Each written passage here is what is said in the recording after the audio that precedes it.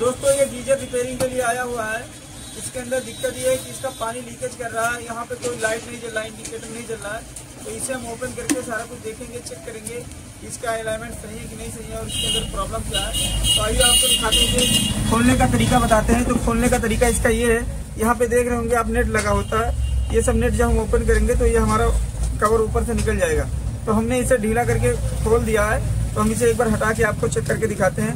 तो इसे हम एक बार हटा देते हैं। तो हटाने के बाद में अंदर का कुछ इस तरीके से इसका सिस्टम दिखता है। इसके अंदर थर्मोस्टेट लगे होते हैं अलाइनमेंट है और इंडिकेटर लगा हुआ है। तो यहाँ पे देखिए दोस्तों, यहाँ पे इंडिकेटर एक ही लगा हुआ है, एक इंडिकेटर नहीं लगा हुआ है। इसके अंदर दो इंडिकेटर होते तो एक ही इंडिकेटर इसके अंदर लगा हुआ है। तो अभी हम क्या करेंगे, सबसे पहले ये हमारा क्वांटिटी टेस्टर है दोस्तों। इसके बारे में हमने आपको बताया, ये क्वांटिटी टेस्टर से हम अलाइनमेंट को चेक करते हैं। तो देखिए, ये क्वांटिटी टेस्टर का लाइट जलने लगा, इसका मतलब अलाइनमेंट हमारा सही है। और करंट को चेक कर लेते हैं एक बार कि अलाइनमेंट पे करंट आ रहा कि नहीं तो अलाइनमेंट पे करंट भी नहीं आ रहा। है इसका मतलब जो है अलाइनमेंट हमारा पूरा सही है। इसी तरीके से थर्मोस्टेट भी चेक कर लेंगे। तो थर्मोस्टेट भी सही बता रहा है। तो ये हमारा सब कुछ सही बता रहा है। इसके अंदर इंडिकेटर नहीं लगा हुआ और ये लीकेज करता है। इसे हम पूरी तरीके से ओपन करके एक बार हम अच्छे से चेक करेंगे कि दिक्कत कहाँ से आ रही है। पानी कहाँ से लीकेज कर रहा है। तो यहाँ पे खोलने का तरीका दोस्तों देखिए यहाँ पे पूरा। तो यहाँ पर जो नेट लगा हुआ है इसे हम जब ओपन करेंगे यहाँ पे जो हम इसे इस, इस नेट को खोल लेंगे इस नेट को जब हम खोलेंगे तो ये हमारा हट जाएगा और हटने के बाद में यहाँ यहाँ पे नेट लगा होता है। तो हमने तो खोल दिया था नेट तो जैसे यहाँ पे नेट लगा हुआ है ऐसे यहाँ पे नेट लगा रहता है ऐसे यहाँ पे नेट लगा रहता है। तो टाइम बचाने के लिए हमने इन सब नेट को खोल लिया दोस्तों। तो इसे हम खोल इन सब नेट को खोलने के बाद में जब हम इसे ऊपर उठाएँगे तो ये कवर इसका बाहर निकल जाएगा। कुछ इस तरीके से। इसका कवर बाहर निकल चुका है दोस्तों। अब देखिए, अंदर से कुछ इस तरीके दिखता है। ये रुई टाइप का इसके अंदर लगा हुआ है। ताकि इसका जो इसके अंदर जो पानी गर्म हो जाए, टंकी को मतलब बाहर का हवा ना लगे, जिसकी वजह से देर तक इसके अंदर गर्माहट बनी रहे तो इसलिए सब लगाया जाता है। और इससे बॉडी पे भी मतलब इसका हीटिंग बॉडी पे ना आए, इसकी वजह से भी इसे लगाया जाता है। तो इसे एक बार निकाल के हम आपको दिखाते हैं।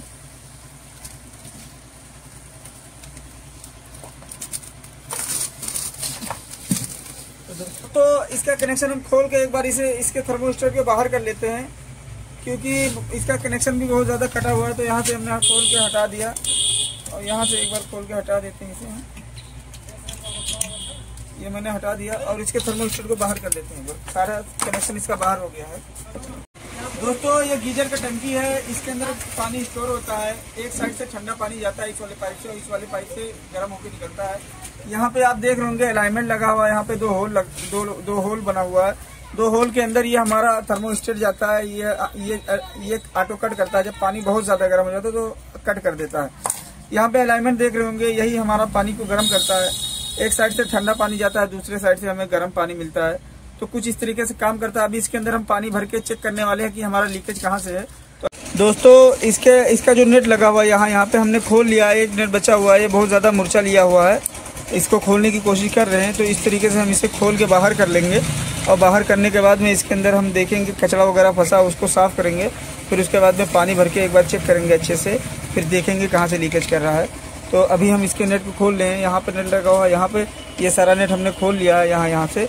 अब यहाँ पे हम नेट खोल रहे हैं। तो खोलने के बाद में फिर इसे हम देखेंगे अंदर क्या है।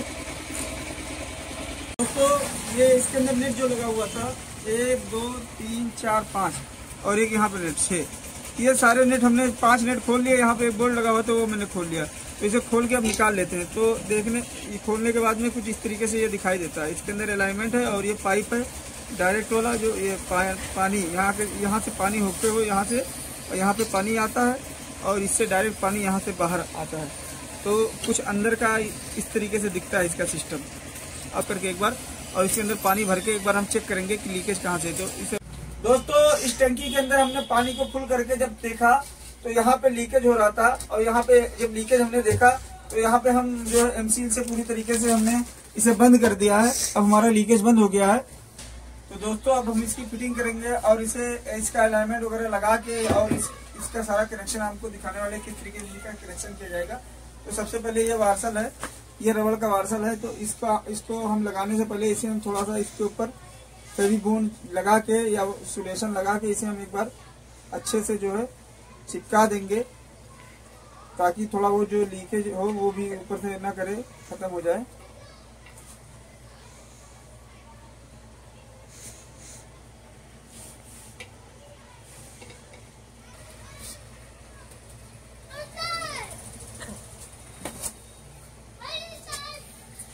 वाशल को हमने रख दिया दोस्तों। अब उसके बाद में इसके अंदर, इसके अलाइनमेंट को लगाएँगे हम।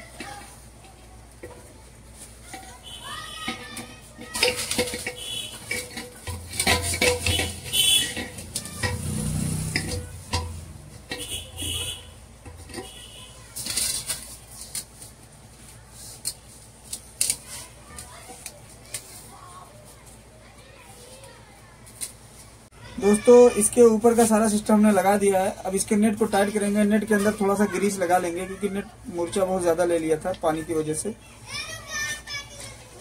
जंग बहुत ज़्यादा लग गया था इसके ऊपर। तो थोड़ा थोड़ा सा नेट पे हम ग्रीस लगा के उसके बाद टाइट करेंगे, ताकि ये अच्छे से टाइट हो जाए।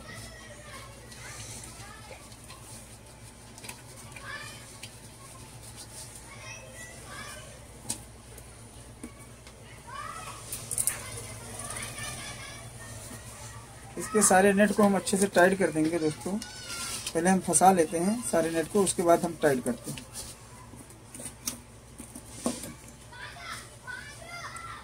दोस्तों, हमने इसके सारे नेट को फंसा लिया, अब इसे हम अच्छे से टाइट कर देंगे।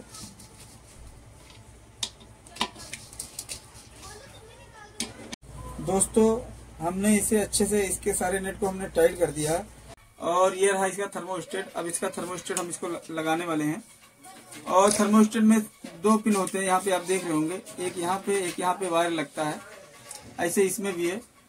तो इसका थर, थर्मोस्टेट हम एक बार लगा देते हैं इसको। थर्मोस्टेट को लगा दिए हमने और ये बड़ा वाला थर्मोस्टेट को भी हम लगा देते हैं एक बार। ये दोनों थर्मोस्टेट हमने लगा दिया है। तो दोस्तों थर्मोस्टेट को हमने अच्छे से सेट कर दिया। बारिश के कनेक्शन की। कनेक्शन पे ध्यान देने वाली बात है कि अच्छे से आप देखेंगे तो बहुत जल्दी समझ में आ जाएगा। तो दोस्तों जो थर्मोस्टेट है इसके थर्मोस्टेट के एक पिन पे हम मेन केबल का एक वायर जोड़ेंगे न्यूट्रल या फेस कोई सा भी हम यहाँ पे लगा देंगे एक वायर तो यहाँ पे हम लगा के और टाइट कर देते हैं।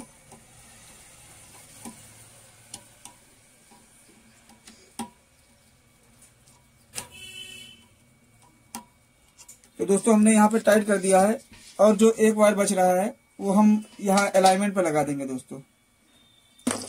अलाइनमेंट पर लगाने से पहले दोस्तों इंडिकेटर का जो एक एक वायर है, दोनों एक में कनेक्ट कर लेंगे। कुछ इस तरीके से आप देख रहे होंगे। ये इंडी दो इंडिकेटर है। तो दोनों इंडिकेटर के एक एक वायर को हम ऐसे कनेक्ट कर लेंगे। और जो मेन केबल का एक वायर है, उसमें भी ऐसे ही कनेक्ट करके अलाइनमेंट के एक पिन पे हम कनेक्ट कर देंगे, कुछ इस तरह से।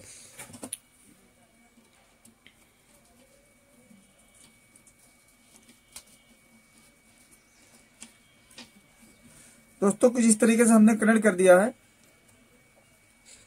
आप देख रहे होंगे। अब ये इंडिकेटर का जो है, एक, दोनों इंडिकेटर के एक एक वायर बच रहे हैं तो इसका कनेक्शन कैसे देना है, हम आपको दिखा रहे हैं। तो अब जो इंडिकेटर का एक वायर बच रहा है थर्मोस्टेट के, जो पहला वाला थर्मोस्टेट है, उसके आखिरी, जो एक पिन बच रहा है, उस पर हम कनेक्शन दे देंगे।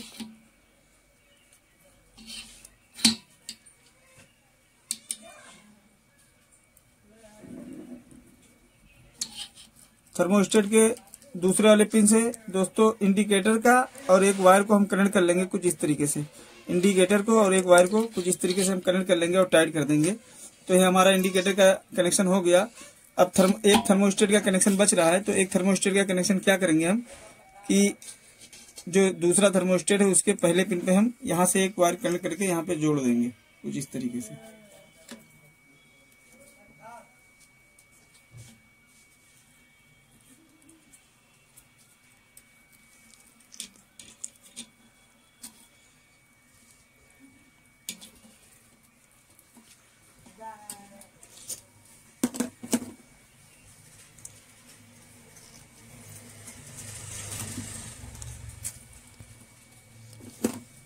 दोस्तों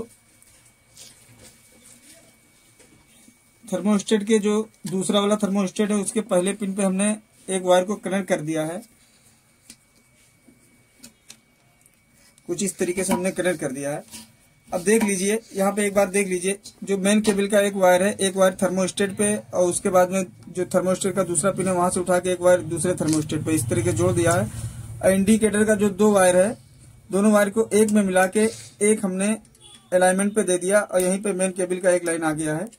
और एक इंडिकेटर का थर्मोस्टेट के पहले वाले पहले वाले थर्मोस्टेट के दूसरे पिन पे हमने जोड़ दिया। अब एक इंडिकेटर हमारा, एक इंडिकेटर का वायर बच रहा है। ये हमारा ग्रीन वाला इंडिकेटर है, ये हमारा रेड वाला इंडिकेटर है। अब क्या करेंगे? ये जो थर्मोस्टेट लास्ट वाला बच रहा है दोस्तों, इस वाले थर्मोस्टेट से एक वायर कनेक्ट करेंगे, जो इसका आखिरी वाला पिन बच रहा है। यहाँ से एक वायर कनेक्ट करेंगे, कुछ इस तरीके से।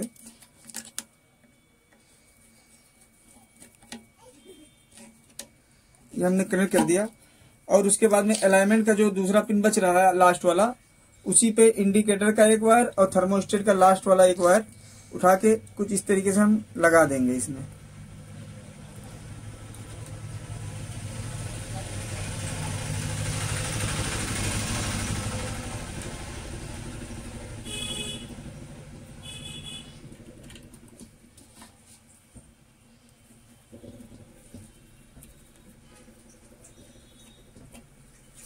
दोस्तों, इसका कनेक्शन पूरा कंप्लीट हो गया है। एक बार हम फिर से आपको एक बार अच्छे से बता देते हैं। तो देख लीजिए, ये हमारा मेन केबल है। मेन केबल के अंदर से दो तार आया हुआ है। एक वायर हम थर्मोस्टेट पे जोड़ दिए हैं। यहाँ पे थर्मोस्टेट के पहला थर्मोस्टेट के पहले पिन पे जोड़ दिए हैं और दूसरा वायर अलाइनमेंट के एक पिन पे जोड़ दिए हैं। फिर उसके बाद में थर्मोस्टेट से जो एक पिन थर्मोस्टेट के दूसरे वाले पिन से जो एक वायर निकला है, दूसरे वाले थर्मोस्टेट पे के पहले पिन पे जोड़ दिया हमने। और यहीं से एक इंडिकेटर उठा के थर्मो जो अलाइनमेंट हमारा वहाँ पे हमने कनेक्ट कर दिया है। उसके बाद में थर्मोस्टेट का जो दूसरा पिन लास्ट वाला बच रहा वहाँ से एक बार उठा के थर्मो अलाइनमेंट के जो है लास्ट वाले पिन पे हमने कनेक्ट कर दिया कुछ इस तरीके से। और वहीं पे हमने ग्रीन वाला इंडिकेटर भी कनेक्ट कर दिया है। तो कनेक्शन आपको सम, समझ में आ गया होगा। अब बारी है इसके टेस्टिंग की। एक बार लगा के हम इसे चेक करते हैं कि हमारा कनेक्शन काम कर रहा कि नहीं कर रहा है? तो दोस्तों, हमने यह सीरीज़ में लगा दिया है। और एक बार हम इसे डायरेक्ट लगा के देखते हैं। तो देख लीजिए दोस्तों, हमारा दोनों जल रहा है। दोनों इंडिकेटर जल रहा है कुछ इस तरीके से। जब ये ऑटो कट करेगा दोस्तों तो मतलब ये बंद हो जाएगा और ये जलता रहेगा। तो अब हम इसको फिट करने जा रहे हैं। तो ये इसके मतलब बॉक्स में हम इसे डाल रहे हैं, डालो कुछ इस तरीके से हमने बॉक्स में इसे डाल दिया है।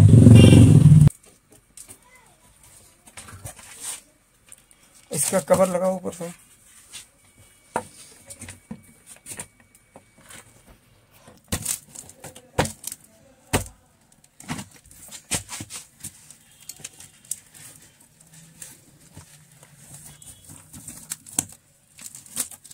दोस्तों, इसकी फिटिंग मतलब हो रही है।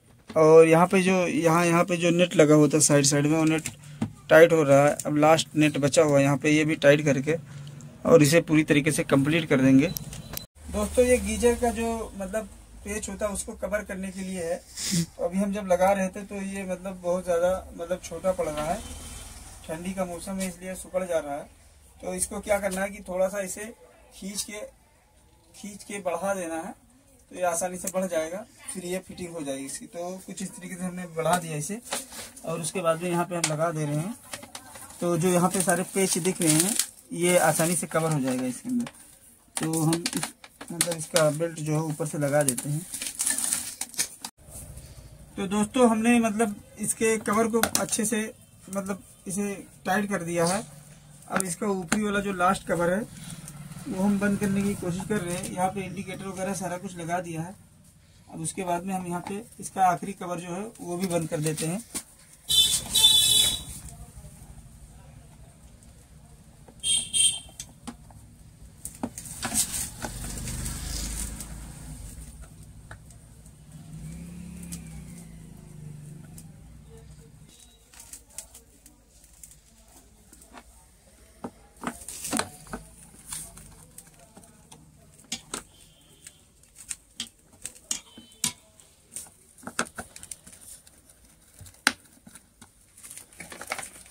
दोस्तों हमने अच्छे से टाइट कर दिया। अब इसे भी हम एक बार अच्छे से टाइट करके लगा देते हैं।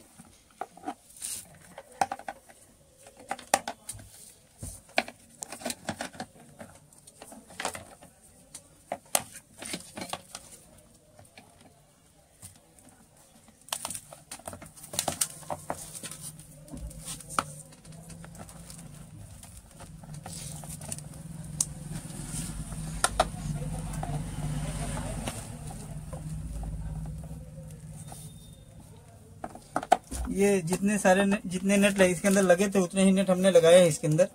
अभी जो एक दो पेस्ट जो बच रहा है वो हम अभी लगा देंगे दोस्तों। ये हमारा पूरी तरीके से कंप्लीट हो गया। अब ये हमारा जो है लगने के लिए रेडी है। अब ये कस्टमर के यहाँ जाके हम लगा देंगे।